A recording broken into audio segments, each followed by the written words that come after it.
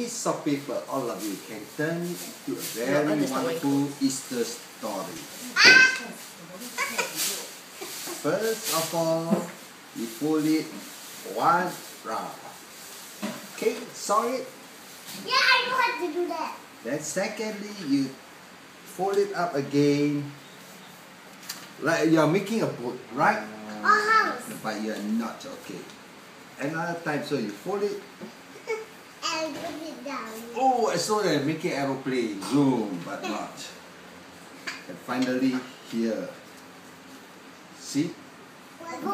Oh, now you can see what happened when we see a simple thing that you can make to show you what us what the Easter story is all about.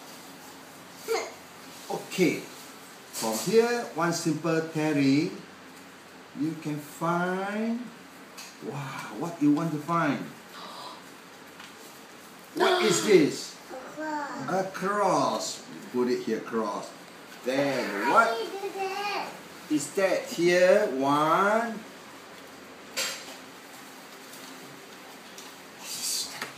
Look this way, right? Wait, wait, wait.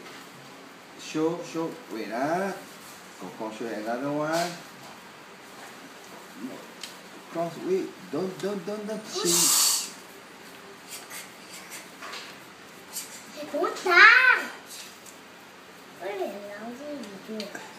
Move, move. Here.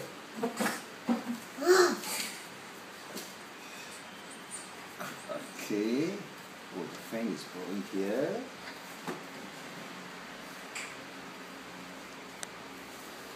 Correct, like that. Okay, wow, now from simple, see, two crosses by Jesus side. And this one here is the spear that the man used to pierce at Jesus. And the last two is the two dice which the soldier used to gamble for Jesus' clothing. See, a simple and this on top here is Hail King of the Jews. A simple, say one pair only you can get one cross, two cross, three, three crosses. And here's a spear that pierced Jesus. Here is the name King of Jews, and here are the two dice that the uh, soldier used to gamble. Okay.